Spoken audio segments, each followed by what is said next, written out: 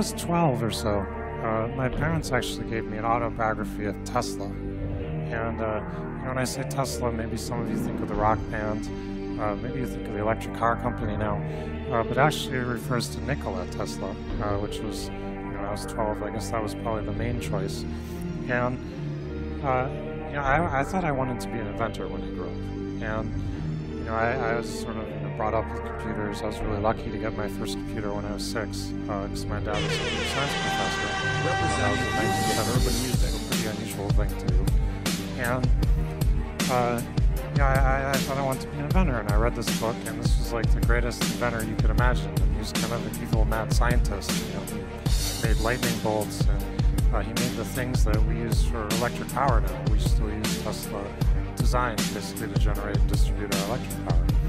And you know, once I, I finished reading the story uh, of, of his life, you know, I basically cried at the end because I realized like well, you can be the world's greatest inventor, uh, and you can basically be a failure, right?